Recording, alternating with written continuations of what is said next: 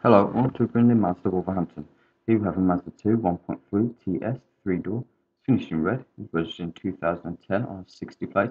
This vehicle has covered 12,051 miles. It has a 5-speed manual gearbox and the road tax for 12 months cost £105. This vehicle has a good sized boot with a lifting parcel shelf.